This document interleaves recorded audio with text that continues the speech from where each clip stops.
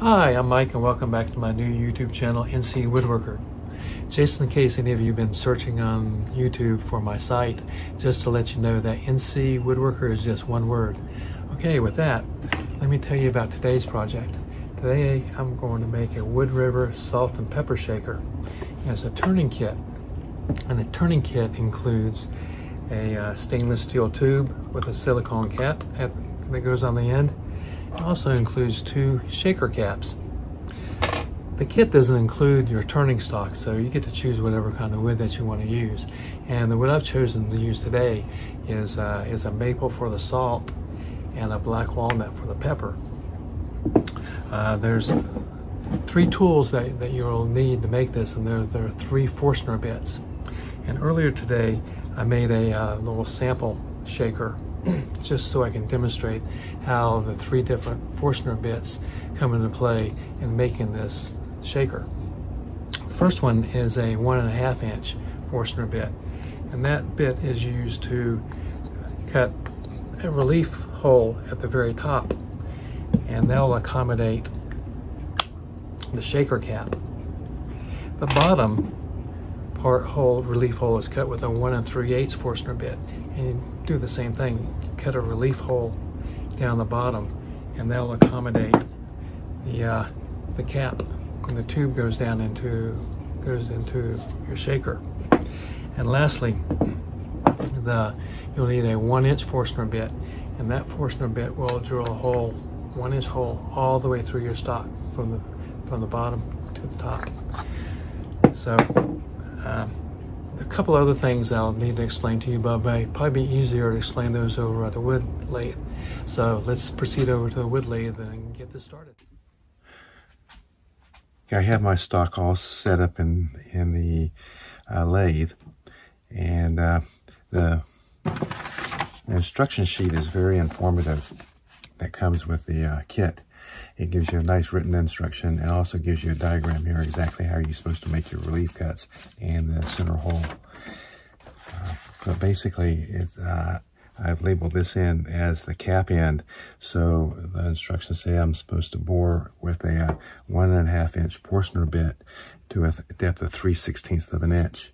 And the plug side, which is this side, will be uh, using a 1 and 3 8 inch Forstner bit with a, a quarter inch uh, relief cut.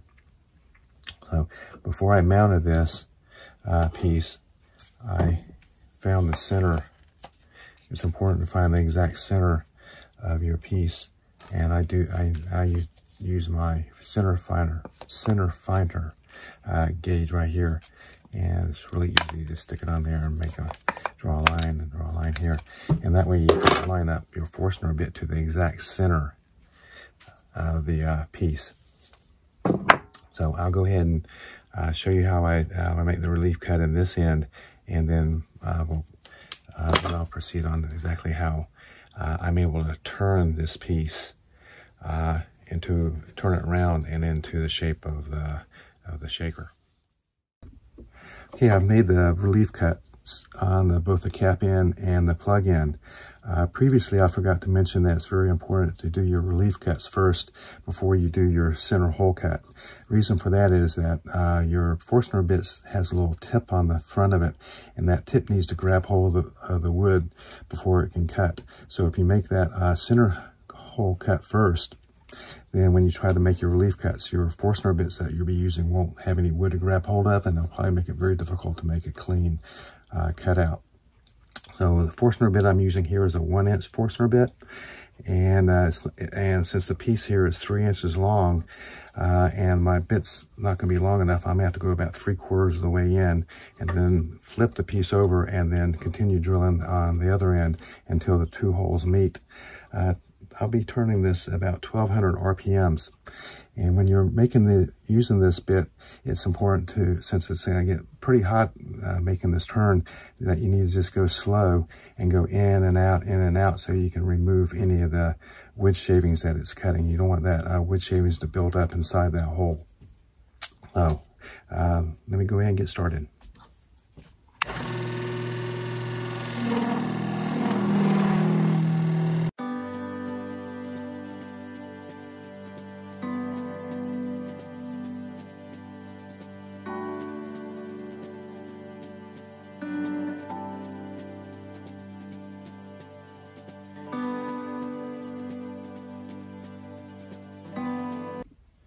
Hole is now drilled through from the plug in through the cap in. And you can see it's a nice clean hole here. And the barrel looks uh, really clean. And it looks like the Forstner bit's lined up really good to be to cut from this end and then from this end to meet. So now we can proceed on turning the, uh, shaping the, the um, shaker piece. But you can see that we may have a problem here because uh, there's, can't really, when you're using this four jaw, uh, four jaw chuck here, uh, you can't turn it completely because you have these jaws here and there's nothing really to grab hold here. So what we have to do now is make what they call a jam chuck. And I have an example of it here, right here. You need to just cut a piece of wood, stick on this end right here, like so. And then cut another piece here that can fit inside the jaws here and also fit into the piece here. And this is called a jam chuck. So you put it in here like this and clamp it down and then you can make a complete turn and, and turn your piece to make it look like this. So I'm to show you how to make this jam chuck real quick. Like it only takes a couple minutes to do. And uh, then we can uh, proceed on uh, turning the piece into a uh, shaker. Okay, I got my piece in here to make that jam, jam chuck. and all it is is just a piece of wood that I just rounded over. And remember that the core diameter of our of our shaker is one inch. So you need to have this end right here a little less than one inch. So it'll uh, fit, fit snug in here. So you just turn this piece here uh, around the end here to about one inch and then just slowly creep up on it until uh, you can fit it in there. And then once you get this down to about 0.9 inches, then you flare this up. So it'll make a tight fit in here.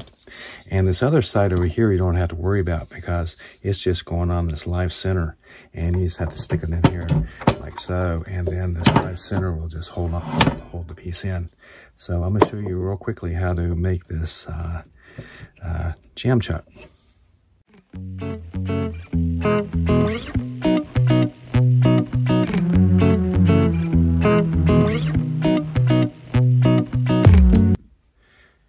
the uh, jam chuck is complete. You see that I uh, made this uh, flare out from the center here and still left enough wood in here so we can mount it into the uh, four jaw chuck. And uh, so it should just fit in here really nice and snug like this. And uh, this other end, you basically make the same way, but you just uh, make it a little bit shorter and you stick it in here. The reason why we do that is so we have a live center chuck right here. It's a 60 degree cone live center. And so with it mounted on this end with the live center and be able to make that jam chuck fit into the four chuck uh, jaw, then we can round this over into the shape of a shaker practice piece I made is about 1.9 inches on each end, about one and three quarters in the middle. I like the shape of this. And I'll probably do the same thing with this one here. It just has a nice uh, feel to it and has, with this cove in here, has nice grip so you can use it as a shaker. so first we need just around this and then we'll worry about exactly how we're gonna uh, carve into it and make into a shaker. So let's get started.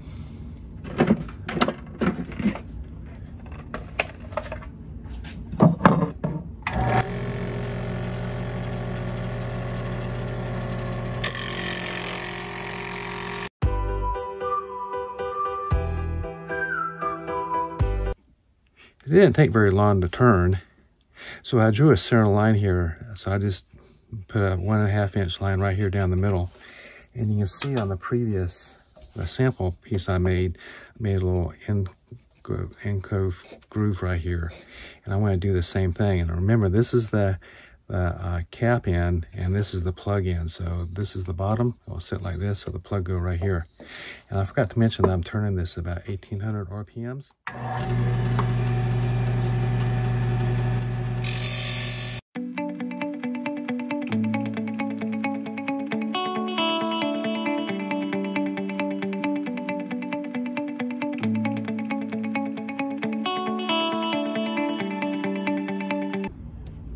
I shaped it very similar, similar to the uh, sample one I did earlier.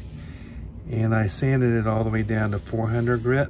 Man, it's uh, looking pretty good now. So all I got to do now is just, I'm gonna put some oil on here and then I'll just follow that with some, follow that with some paste wax.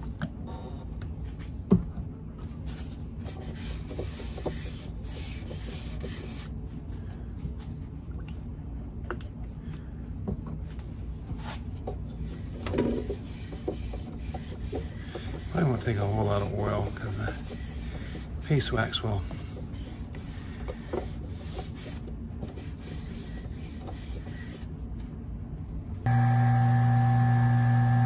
just adding some more oil to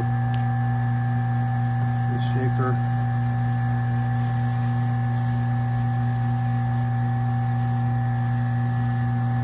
I'll come back and uh, give it some paste wax. Paste wax I've been using is a uh, Howard Citrus Shield. Put it on kind of liberally here, just rub it in here, start like this, and then I'll turn on the motor and let it work its way in.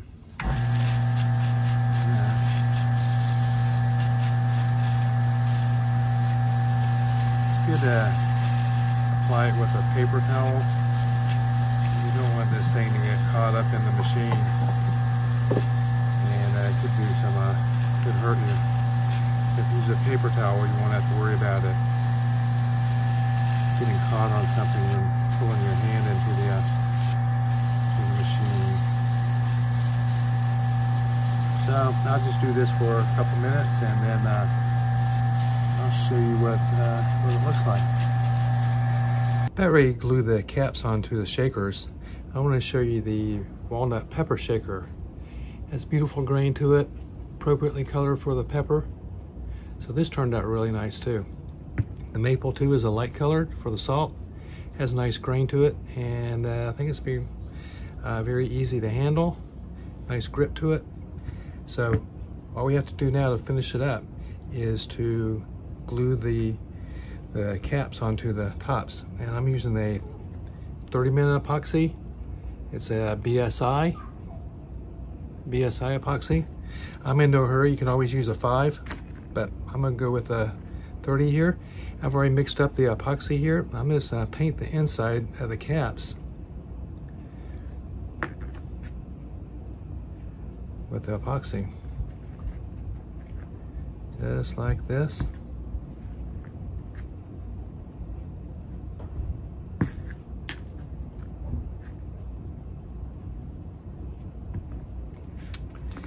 And then just stick this guy on here like so.